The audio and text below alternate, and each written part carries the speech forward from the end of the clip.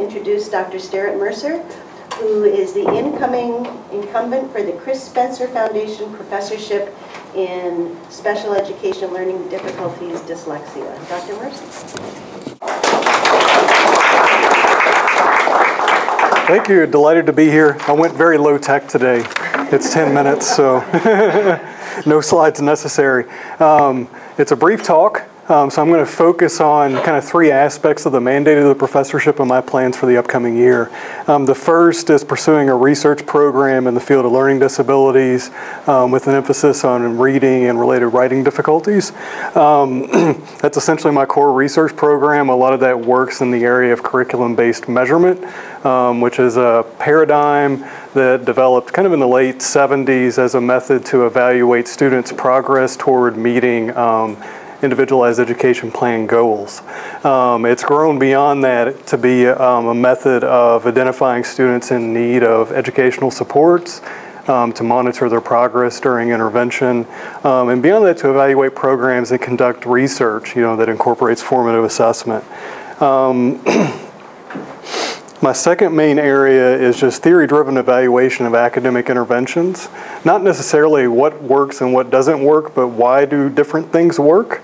Uh, because that gives you a framework to be able to evaluate, you know, even in the absence of no information, would this be the sort of program that would tend to be effective um, for students based on the content that's included in it?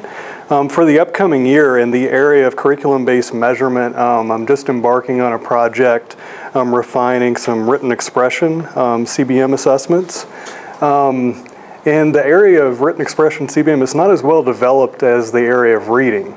Um, reading is a little bit, well, it's more high interest, a little bit easier to assess because generally um, the student's response is dictated in part by the uh, reading materials that are in front of them. In the area of written expression, um, typically you don't have kind of grade level prompts. I mean, you might give a child a writing task um, and possibly some constraints on time limits, and then you have to figure out what to do with it.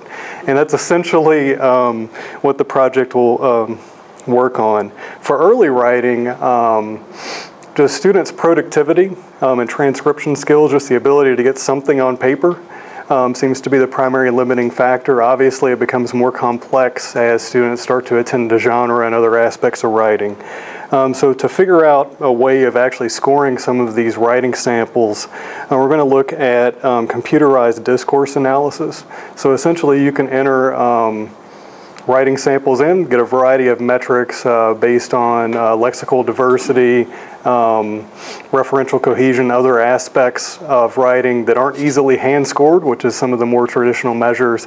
And it's essentially wide open at this point. We're just looking at the basic validity. Um, to what extent do those metrics uh, capture or um, correspond with what uh, raters would evaluate on those writing samples, and to what extent do they serve as just a general indicator of writing performance.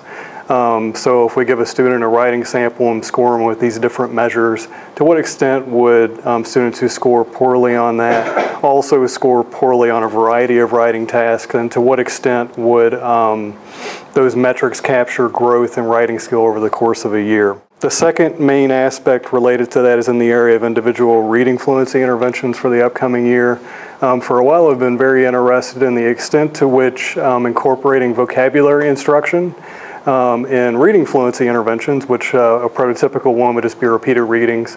Kids would read um, a short, um, simple passage for them several times until um, a certain degree of automaticity is gained. To what extent would broadening that to incorporate discussion of concepts, um, trying to keep some of that consistent over time, would that actually improve reading comprehension more than just improving um, text reading automaticity?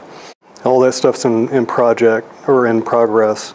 So those are my main projects. I also supervise a variety of students on um, mostly reading intervention studies using single case design. As an example of some projects that are underway, I have um, a student currently seeing the extent to which providing students reading fluency intervention in French for students in French immersion programs would have kind of cross-linguistic effects. Would that also improve their English reading fluency even though that's not being targeted?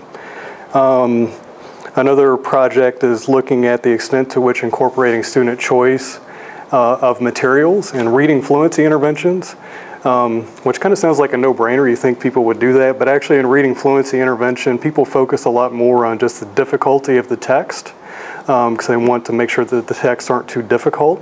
Uh, but we know that incorporating choice can improve student motivation and so on, so that's one project related to it. Um, and a third is looking at um, upper elementary students and ways to incorporate um, instruction in decoding of uh, multisyllabic words in the context of reading fluency intervention, if that will assist them in developing automaticity on informational text and improve comprehension. So that's one aspect of the mandate in terms of the, the research. One other aspect is just community engagement um, in terms of encouraging good instructional practices and intervention in schools. Um, recently, I've started working with the Learning Disability Association of Vancouver. Um, it's still very much in the early phases. Um, so far, we've spoken a lot about um, their assessment model and really formative assessment model, ways that they can see the extent to which the services they are providing to students are effective. They serve about 200 students per year and provide um, several hours of individual intervention per week. So they have a pretty robust, robust model in terms of uh, service delivery. Um, to grow in that area, you need to actually show that you're having an out an impact. Um, I believe they are, but you know we need some data in that regard. Um, I'm excited about it for several reasons. One, it provides an opportunity for students to um, work in that setting and gain some experience. Um, when we have overlapping research interests. Um, beyond the program evaluation, some questions they're interested in are to what extent um, do you get similar outcomes when you provide um, interventions small group versus individually?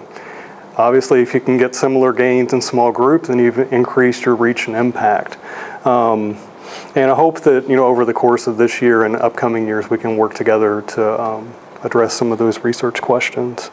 Um, the, the, last aspect of the mandate that I'll focus on is just um, adapting graduate courses, teaching practicum placements in these areas. I already do that.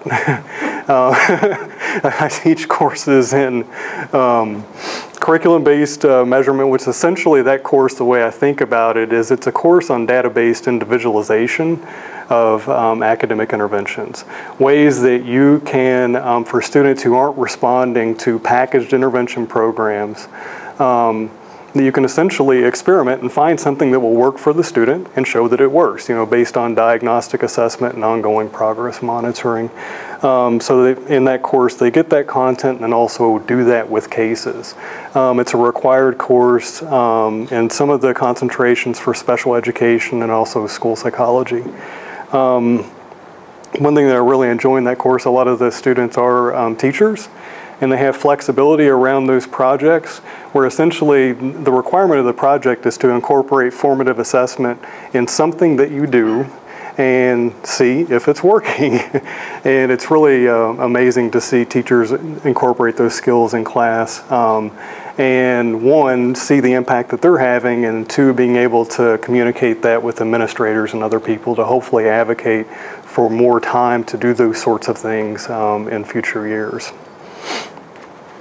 That's it. Thank you. thank you. Before you go away, yes. does anyone have a question for Sarah?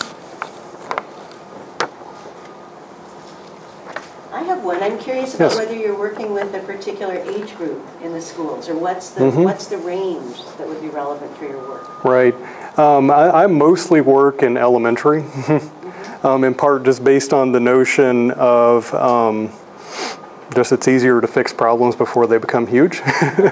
that, that, that's in part the focus. But I am interested in older students, um, and particularly in the area of writing. You know, I, I think some of these issues related to um, writing assessment, particularly for students in secondary, where it really is genre-based and quite complex, um, it'll be interesting to explore those issues. We don't necessarily have plans to do it yet.